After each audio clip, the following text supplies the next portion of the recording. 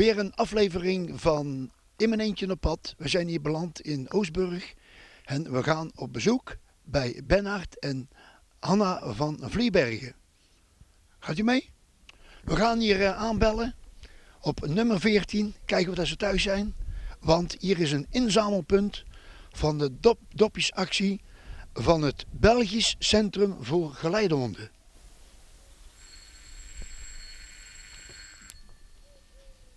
Dag Bernhard. Goedemiddag. Goedemiddag. Alles goed? Ja, prima. En met u? Ja hoor, alles goed. Zeg Bernhard, wat een mooi uh, aanhangwagentje heb je. Ja, die heb ik er speciaal voor gekocht.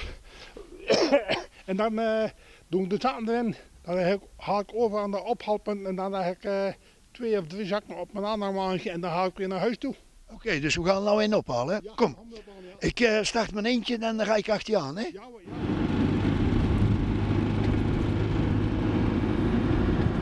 Bernhard, we zijn hier aangeland bij het posthoekje, zie ik. En je hebt de zak bij, er staat op www.geleidehond.be. Oftewel www.chainguide.be. Wat ga je nou mee doen? Dan ga ik die dopjes hier ophalen bij het posthoekje en dan breng ik ze naar uh, het uh, opslagplaats bij mij en de melkweg. Oké, okay. nou laten we er gelijk aan beginnen. Goed zo, oké. Okay. Gaat u maar. Oké. Okay. Goedendag. Goedemiddag. Nou, hier zijn we bij de dopjes. Ja, en dan gaan we de dopjes gaan we in de zak doen.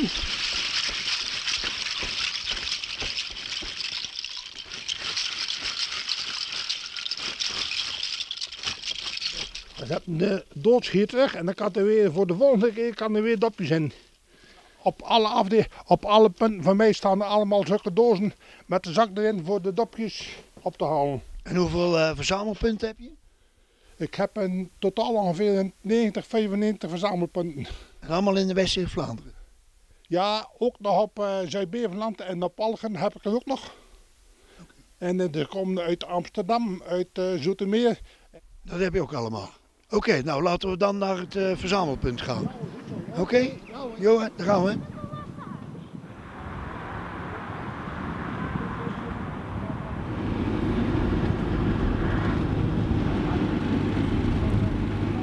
We zijn nu bij een garagebox. Uh, wat gaat hier gebeuren? Dan ga ik uh, de zak, dan ik de garage doen en dan ik ze daar, ze daar opstapelen en dan kan je zien hoeveel zakken er nu al liggen. Nou, ik ben benieuwd. Doe de garagedeur maar open. Ja, kijk. Zo, wauw zeg. Nou, die zak oppakken en bij die andere zakken. Hier zo op, stapels op. En meestal liggen ze tot aan uh, het dak. Dat zijn bierdopjes. Als ik er een goede 90 heb, dan, komen ze achter, dan bel ik naar hun. Dan, uh, kom, dan zeggen hun wanneer ze komen, dan, uh, ze hebben ook een speciale uh, route om te rijden. He. En wie zijn hun? Dat is uh, Jean-Marie en Raf van, met, de, met de bus van de BCG. Oké, okay, en dan gaan ze die doppen, die gaan naar? Naar Tongeren, dan worden ze nog gesorteerd. En dan worden ze nog gewoon, eerst worden ze gewogen en dan worden ze gesorteerd nog. En dan gaan ze naar uh, de verwerking voor, denk toe, dan krijgen ze 7 of 28 eurocent van, van de kilo. Voor de plastic? Voor de plastic. En de ijzeren doppen, dat, uh, die breng ik zelf weg voor hun. Breng ik ze naar Eeklo, dan krijg ik 17 of 18 cent van de kilo. En wat kost zo'n hond, denk je? Die kost 6.000, 27.000 euro, een hond. Nu heb ik begrepen dat er in uh, Stekenen, dat daar een blinde geleidehond is. En uh, ik ben van plan om daar in mijn eentje ook op pad te gaan.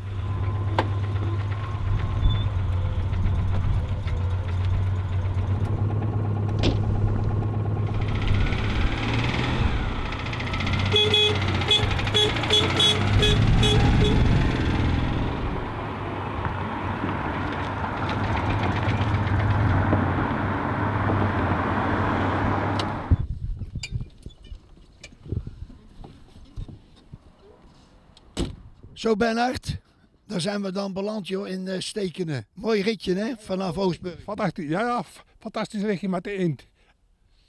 En goedemiddag. Goedemiddag Frank. Jan. Alles goed? Ja, ik, ik ben Bernhard en dat Ja. is... Ik ben Jan. Uh, met wie hebben we het genoegen? Met uh, Frank Pletink en Simba, mijn geleidehond. Prachtig hè? Zeg, uh, wij zagen hier dat bord ook staan van de instantie om de, dobbelen te, de doppen te verzamelen.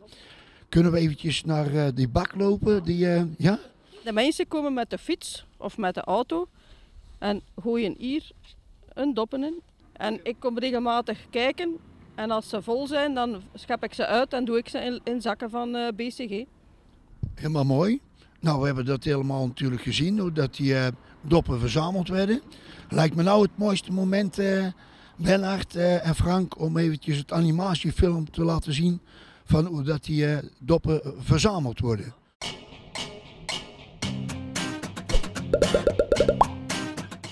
Iedereen kan dopjes verzamelen. Thuis, op school en op het werk. Vrijwilligers halen de verzamelde dopjes op bij de inzamelpunten en brengen ze naar de sorteercentra. Alle dopjes worden gecontroleerd. Enkel zuivere plastic dopjes en deksels kunnen gebruikt worden. Andere producten zoals kroonkurken, wijnkurken en batterijen kunnen niet gebruikt worden. De verzamelde dopjes worden naar de fabriek gebracht om ze daar te recycleren.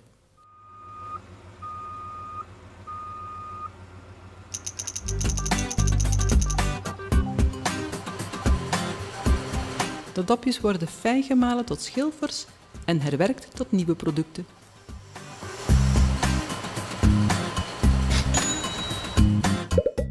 Opbrengst van de verkoop van de dopjes wordt gebruikt voor de opleiding van onze honden en de algemene werking van het centrum.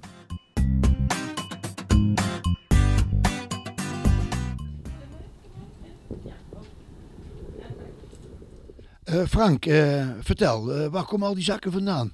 Als die bak vooraan vol is, schep ik die uit in zo'n zakken. hè. Dus deze is nog maar half, half vol. Maar nu deze morgen hebben al mensen vanuit de buurt of van gemeenten uit de streek zakken gebracht. Like deze morgen hebben ze al 12 zakken gebracht. Simba, left. Find left. Ja, Simba in. Simba in. Simba in.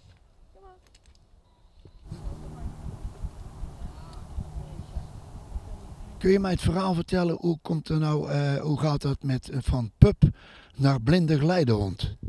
Wel, als de pup zeven weken is, dan wordt hij in een pleeggezin geplaatst. En dat pleeggezin houdt hij een jaar bij tot de hond 14 maanden is. En het pleeggezin socialiseert de hond. Dus eerst proper worden, meenemen gaan wandelen, zoveel mogelijk geluiden laten waarnemen, spelende kinderen, eh, een trein die vertrekt, vrachtwagens, eh, auto's, noem maar op. Zelfs ook eens gewoon een deksel van een pot in huis laten vallen hoe meer geluiden dat de hond op zijn eerste drie maanden ervaart, hoe minder dat hij later zal schrikken. Als dan de hond 14 maanden is, dan wordt hij gekeurd op ogen en gewrichten. En als die goed zijn, dan start eigenlijk de professionele opleiding in het centrum. En dat duurt gemiddeld tussen de 6 en de 10, 11 maanden. Eh, de ene hond is al wel iets slimmer, die zal het op 6 maanden doen, de ander zal er iets langer over doen. Nu, toen ik mij kandidaat stelde voor een hond, heb ik een hele vragenlijst moeten invullen. Wat dat ik doe, welke activiteiten, eh, vrijwilligerswerk, welk werk, of dat ik de trein, de bus, de tram enzovoort neem. Het pleeggezin noteert ook alles van de hond. En dan tijdens de opleiding noteren de trainers dat ook. En dan wordt er een goede match gezocht tussen hond en blinde persoon. Dus het is niet wie dat eerst op de lijst staat dat de eerstvolgende hond gaat hebben. Natuurlijk, Simba die kende niks in steken. Mijn vorige kende de weg naar de bakker, zij niet. Dus de trainers komen dan x aantal keren, nazorg noemt dat, ehm, eh, mij begeleiden de weg naar de winkel, de bakker, de slager, apotheker, en noem maar op de belangrijkste zaken. En nu gaan wij dagelijks op stap, ik en Simba. Zoals je nu gedaan hebt eh, naar dit bankje. Ja. Kun je overal naartoe, ook met de trein en zo? Ja, inderdaad. Dat gebeurt, ja. En met de bus, met de bus eventueel naar uh, Moerbeke-Waas, dat is een dorp hier verder. Of we zijn ook al eens met de bus naar Antwerpen geweest, dus dat gaat inderdaad. Ja, en we willen het nog even over jouw persoonlijk eh, gebeuren hebben. Eh, ben jij blind geboren of hoe is dat gegaan? Nee, ik, ik zat in het vijfde lager, toen in de jongensschool, want, eh, dus, en ik zag het bord niet goed meer. En de meester zei, Frank, je zult een bril moeten dragen. Maar nee, wat bleek, na een operatie, en, want toen bestonden nog geen scanners, dat was in het jaar 69, ik was dan 10 jaar, hebben ze een hersentumor ontdekt. En op drie weken tijd was ik blind. En dan ben ik eh, het jaar nadien naar een school gegaan, speciaal voor blinden in Brugge. En daar heb ik dan braai geleerd en mijn lager vijfde opnieuw gedaan en dan afgestudeerd. En dan nog ben ik een jaar gaan studeren bij IBM, een van de computers in Brussel. En dan heb ik 32 jaar gewerkt in Antwerpen bij SD Works. En als ik nou goed reken, hoe oud is deze hond nou? Ehm, die is drie jaar geworden op 7 maart 2019. Helemaal goed. En eh, als je nou iets eh, bijzonders te vieren hebt, hoe gaat dat dan? Eh, kun je dan ook gewoon bijvoorbeeld je verjaardag vieren? Ik weet niet hoe oud je bent, maar zou dat kunnen? Ja, tuurlijk. Ik word 60 van het jaar, dus ik ben ook dit jaar in november 50 jaar blind. En ik vind wel dat dat een, een, dag is, dat- een paar dagen dat we moeten vieren. Hè. Dat is eigenlijk een gouden jubileum. Een gouden jubileum. Dankzij al die dopjes. Heb jij nog iets eh, toe te voegen? Nee, ik vind dat, eh, ah, Frank dat fantastisch gedaan. hè. Dat is, dat is super, dat, dat kan niet beter. We kunnen alleen maar de mensen oproepen om nog meer dopjes te verzamelen. En op de website www.dopjesactie.be vinden ze al de inzamelpunten. Ik denk eh, dat we in ieder geval eh, je moeten feliciteren. Niet alleen met je 60ste verjaardag straks, maar ook hoe dat je leven ingericht hebben. Heel bijzonder, heel bijzonder. Bernard, zullen wij richting Oostburg weer? Ja, dat is goed. Dan gaan wij richting Oosburg met de Int. En dan zien, we, dan zien we verder wel weer hoe het verder verloopt. Nou, goed. Oké, dankjewel.